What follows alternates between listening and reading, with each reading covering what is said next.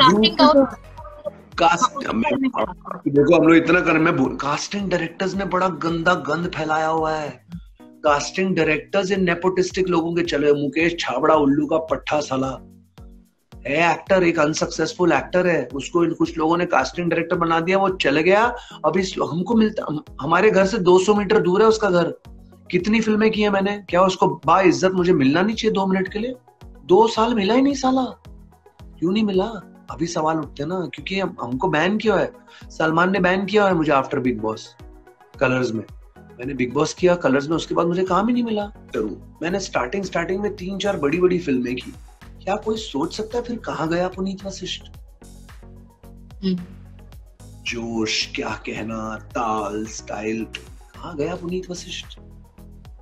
क्योंकि पुनीत वशिष्ठ ये सब ग्लैम ग्लैम वर्साची डॉल्चिन गमाना वाले ग्रुप्स में मिक्स नहीं हो सका।